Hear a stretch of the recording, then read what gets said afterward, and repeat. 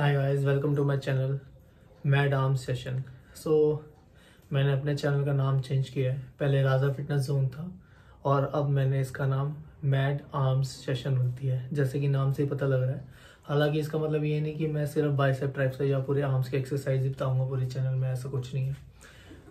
हालाँकि हमारे आर्म्स हर एक्सरसाइज में यूज़ होते हैं और मेरे को थोड़ा यूनिक सा नाम चाहिए था अपने यूट्यूब चैनल के लिए। आ, थोड़ा लाइक प्रोफेशनल नाम हो जाता तो ठीक रहता तो मैंने बहुत ढूंढ डांड के, बहुत सर्च मार के मैंने ये नाम सोचा है। तो चलिए स्टार्ट करते हैं अपनी वीडियो के साथ। तो आज की वीडियो हमारी होगी पाइसअप की थ्री मेन एक्सरसाइज जो मास बढ़ाने में हेल्प करेगी। थ्री मेन एक्सरसाइज इसमें मैं आपको एक्सरसाइज का नाम भी बताऊँगा और वो एक्सरसाइज करते हुए भी दिखाऊँगा खुद कि कैसे करते हैं। जिम में मैंने करी है एक्सरसाइज रिकॉर्ड की थी वीडियो वो इसमें मैं डाल दूँगा। तो बिना टाइम वेस्ट करे स्टार्ट करते हैं। सो so, बाइसेप की सबसे पहली एक्सरसाइज और मेन एक्सरसाइज जो कि मैं हर बाइसेप की रूटीन में सबसे पहले जाके वही लगाता हूँ वो है बार्बर कर्ल्स तो आइए देख लेते हैं कि बार्बर कर्ल्स मारने कैसे हैं। आपको इसमें पहले लाइट से स्टार्ट करना है, फिर हैवी पे जाना है और अपने आर्म्स की स्ट्रेंथ से वेट उठाना है, पूरी बॉडी नहीं हिलानी। तो बार्बर कर्ल्स के मैं चार सेट मारता हूँ। 15 रैप्स पहले सेट में then 12 then 10 and then 8 to 6 reps जो लग जाए हैवी वेट से। ऐसा नहीं है कि आपको शुरू पहले सेट में एकदम हैवी वेट उठा लेना है, ऐसा नहीं करना है, क्योंकि हम आइसोलेशन और कंपाउंड दोनों पे वर्क करेंगे इसमें जो कि हमारा पहला पहला और दूसरा सेट हमारा आइसोलेशन एक्सरसाइज होगी जो कि हम आराम से मारेंगे और हमारा कम वेट से मारेंगे।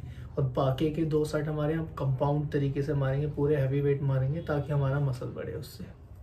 सो so, चलिए दूसरी एक्सरसाइज की तरफ़ बढ़ते हैं जो कि हमारी dumbbell preacher curl dumbbell preacher curl मेरे को सबसे बढ़िया एक्सरसाइज लगती है एक आर्म्स की पीक बढ़ाने में और आर्म का साइज़ बढ़ाने में। तो चलिए देखते हैं उसे कैसे मारना है। इस एक्सरसाइज में भी आपको लाइट वेट से स्टार्ट करना है फिर हैवी जाना है। और आपको इसमें अपने आर्म्स पूरे नीचे नहीं लेके जाने और पूरे शोल्डर तक टच नहीं करानी है। बाइसेप को पूरा टेंशन रहना चाहिए। सो so, इस एक्सरसाइज के भी मैं चार सेट मारता हूँ और रैप्स मेरे फिफ्टीन टू ट्वेल्व ही रहते हैं। इसमें मैं आठ और छः तक नहीं लेके जाता क्योंकि एक आइसोलेटेड एक्सरसाइज है, इसके ज़्यादा आपको हैवी मारने भी नहीं चाहिए, नहीं तो आपको इंजरी हो सकती है इसमें। हालाँकि मैं थोड़ा हैवी मार लेता हूँ क्योंकि मेरे को बहुत टाइम हो गया ये करते हुए। तो आपको मैं सजेशन दूँगा कि आप इसके 15 टू 12 रैप्स निकालें कम वेट से। तो अब हम बात करते हैं तीसरी एक्सरसाइज की, जो कि बहुत इंपॉर्टेंट एक्सरसाइज है, वो है हैमर कर्ल्स अब हम बाइसेप में क्या मार रहे हैं? जैसे ये हमारा हाथ है, हम डम्बल में ऐसे लेके जा रहे हैं हाथ। तो हम हैमर में, हम ऐसे लेके जाते हैं हाथ। या आप सीधा लेके जा सकते हैं या ऐसे लेके जा सकते हैं। ये आपके लॉन्ग हेड में काम करेगा और ये बहुत इफ़ेक्टिव एक्सरसाइज है आपकी, जो आपका ये ये एरिया है, ये एरिया को ग्रो करने के लिए। तो चलिए देखते हैं कि मारना कैसे है। हैमर कर्ल्स आपके लॉन्ग हेड पे काम करेगा तो आपको ऊपर जब लाओगे तो आपको होल्ड करना है और शुरुआत आप लाइट वेट से ही करें।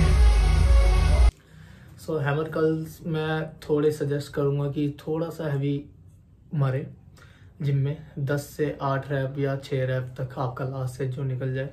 क्योंकि ये आपकी फोर आर्म्स से लेके आपका जो लॉन्ग हेड है, उसका स्ट्रेंथ बढ़ाने में बहुत काम करते हैं, बहुत हेल्प करते हैं। तो आप ट्राई करें कि चार सेट चार में से दो सेट दस रैप के निकालें और बाकी दोनों आठ से छः रैप के निकालें। मैं अपना वेट बढ़ा के इसमें इसमें आप लाइट ना लें ज़्यादा बाकी की दो सेट में। थोड़ा सा वेट बढ़ाएँ ढाई ढाई किलो या पाँच पाँच किलो। तो ये थी आ, मेरी three most effective bicep exercise जो कि आई थिंक बहुत हेल्प करती है आपका बाइसेप जो है वो ग्रो करने में।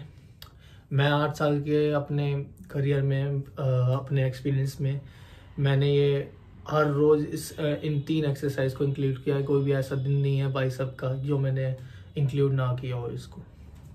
तो आप भी इसे ट्राई कर सकते हैं। ट्राई करें। फिर मेरे को बताएँ कि कैसा लगा। अगर आपको अच्छा लगा तो मैं इस पर और वीडियोस बनाऊँगा और डेफिनेटली अपलोड करूँगा। So thank you have a nice day